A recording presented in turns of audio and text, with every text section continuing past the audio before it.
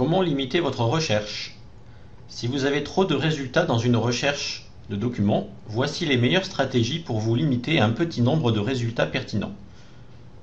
Les deux meilleures stratégies sont choisir le champ sujet et l'opérateur et. Nous verrons aussi d'autres techniques. Cherchez seulement dans le champ sujet.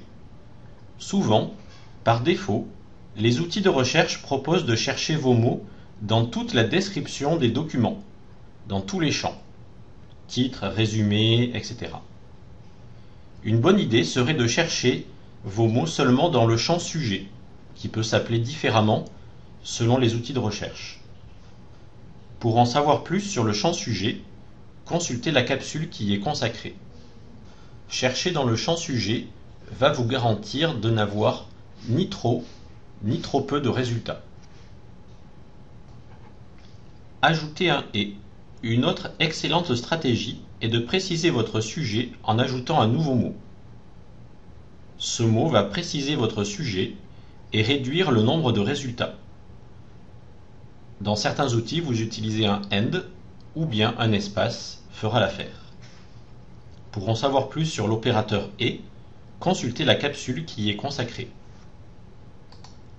Si vous voulez utiliser un lieu géographique après un et, notez bien que il va falloir chercher ce lieu géographique dans tous les champs et non pas seulement dans le champ sujet.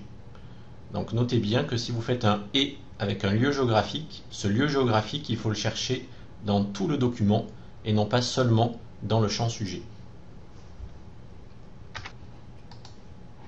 Voici d'autres techniques et autres petites stratégies pour limiter son nombre de résultats. Trier, raffiner et limiter, les guillemets et le sauf. Tout d'abord, trier. Vous pouvez trier les documents par date ou par pertinence. Cela vous permettra de les parcourir plus facilement. Raffiner. Certains outils de recherche proposent de raffiner les résultats. Les critères sont nombreux et varie selon la liste des résultats que vous avez. Cette option est très utile et se trouve presque toujours dans un menu à gauche des résultats. Ces outils qui permettent de raffiner permettent ainsi de limiter les résultats selon des critères que vous choisissez.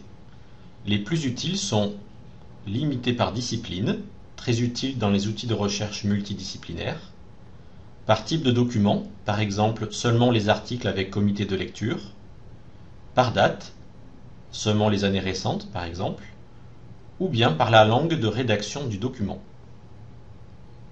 Guillemets. Vous pouvez utiliser des guillemets carrés si votre recherche est un groupe de mots. Par exemple, dans jeu de rôle, si vous utilisez des guillemets carrés, vous aurez moins de résultats, mais mieux concentré sur ce que vous cherchez. Cela fonctionne aussi très bien avec les noms de personnes. Vous pouvez utiliser le sauf pour éliminer de la liste des résultats des documents qui correspondent à un sujet qui ne vous intéresse pas. Cette technique est très utile dans les bases de données multidisciplinaires. Vous pouvez utiliser le NOTE dans les outils de recherche en anglais. Pour en savoir plus sur l'opérateur SOF, consultez la capsule qui y est consacrée.